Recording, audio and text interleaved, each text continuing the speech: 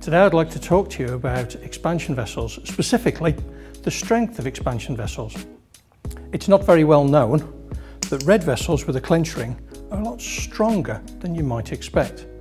I'd like to demonstrate that for you now.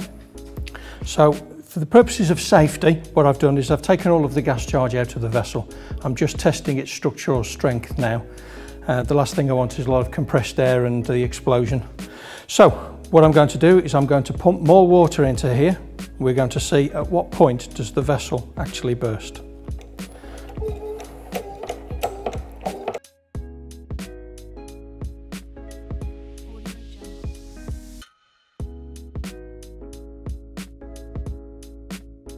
So now we're at the maximum working pressure of the vessel, 6 bar. So we're going to keep pumping and we'll see if we can take it even higher.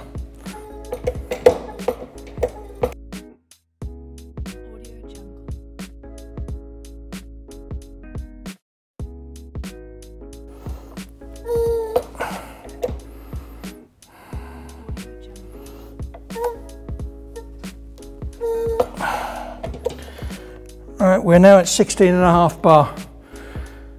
And you know what? I'm not going any further. Okay, in the interests of safety, I've decided to move this test outside. So, here we are back at 10 bar.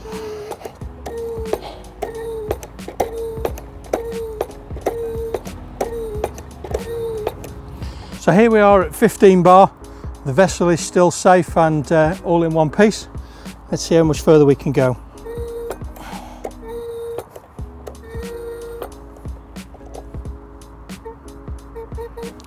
Here we are at 17 and a half bar. Still the vessel is holding. It's not bad for an 8 litre vessel, only rated at 6 bar, isn't it? And let's see how much further we can go.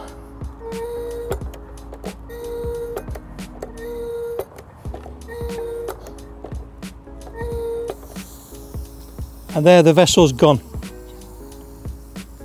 18 bar, the clench ring's let go. I think that's a good design. Job done. We burst it.